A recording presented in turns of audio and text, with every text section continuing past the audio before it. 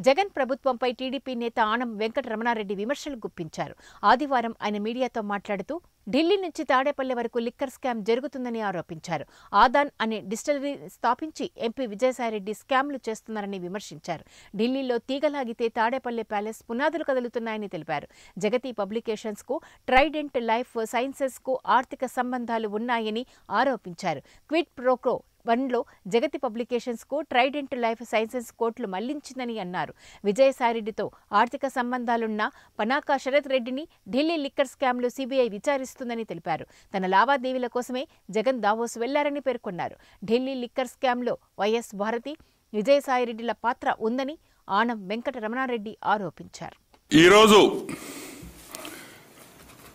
మన half ticket ముఖ్యమంత్రి YS Jaganmohan Reddy అదేవిధంగా మా అక్క వైఎస్ భారతిరెడ్డి ఈరోజు పెళ్ళి రోజు. తెలుగుదేశం పార్టీ తరపున మా అందరి తరపున a very happy wedding anniversary పెళ్ళి రోజు శుభాకాంక్షలు. స్పెసిఫిక్గా భారతక ఎంతో ఓపికతో ఎంతో సహనంతో ఆమె పడిన కష్టాలని మాకు తెలుసు కాబట్టి మేము చూసాం కాబట్టి ఆమెకి ప్రత్యేక ధన్యవాదాలు మా అందరి తరపున కూడా తెలుపుతా ఉన్నాం. ఓకే.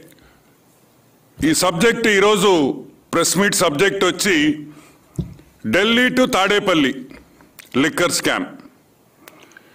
ఈ లిక్కర్ గురించి మనం ఇప్పటికే రెండు మూడు ప్రెస్ మీట్లు పెట్టాం. దొంగ సారా ఎలా కాస్తున్నారో చెప్పాం.